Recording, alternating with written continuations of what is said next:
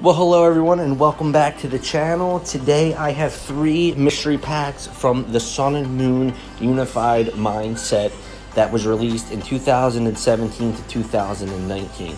I picked up these packs from the local Dollar General around the corner for $3.50, and normally when I go in there, they only have the unbroken bonds. So when I seen that they were stocked up and they had the Unified Minds, I had to go ahead.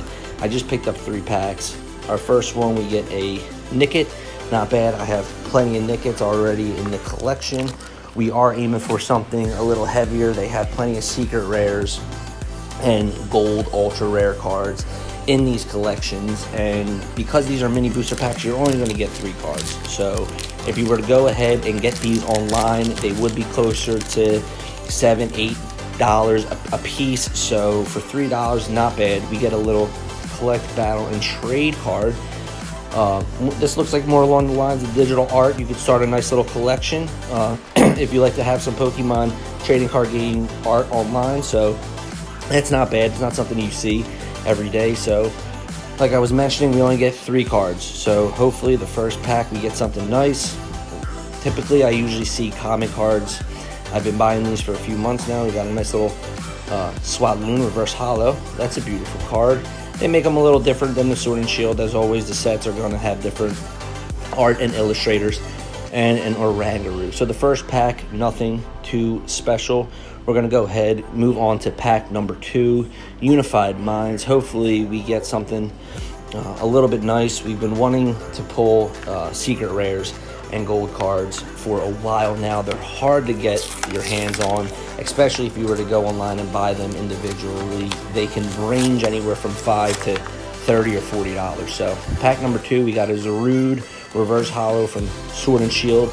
And like I was mentioning in one of my prior videos, I didn't know Sword and Shield was incorporated in these packs. I thought they were all Sun and Moon cards. So, let's go ahead, open up pack number two. Hopefully, one of these three cards is something special. We would love to grab, like I was saying, a secret rare gold card. Even anything GX worthy would be nice. I don't have many Unified Mind cards, so this is the start of my collection. Uh, we'll go ahead and show off the binder here later on. So we're going to make our way. Pack number two, we got a common card, uh, nothing too special. Let's go ahead, make our way through, see what we can grab. And there we go. And again, we got a Rowlet and Alolan Exeggutor GX full art. What a beautiful card. Uh, number one uh, out of 236. So that is an exciting grab. Look at that. So we're going to go ahead, sleeve that card up, and an unidentified fossil. So yeah, we're going to go ahead sleeve that card up, add that to the collection. We'll probably go ahead throw the prices up, see what that's going for online, see uh, see if it's worth even sending in to get graded to PSA. I'll take a look at it myself, see how the back is. But moving on to pack number three.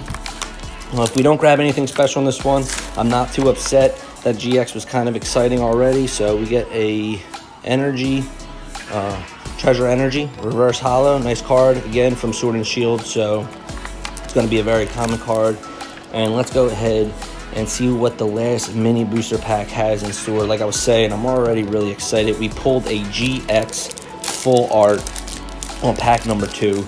So my day has already been made, but if we pull another one, better yet. So let's go ahead, check out what the last three cards have in store for us. And we got a Pikachu. All right, so I actually don't have a Pikachu from the Unified Mind set, so that's kind of exciting. There's plenty of Pikachus made uh, across the board, so we got a Hoopa Reverse holo.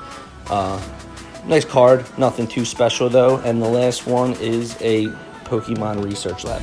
So, yeah, we did get that pull today. I appreciate everyone for stopping by, watching the video. If you wouldn't mind just leaving a like and then subscribing to the channel for more Pokemon content and pulls, it would be greatly appreciated. Again, I appreciate you guys for stopping by. Take care.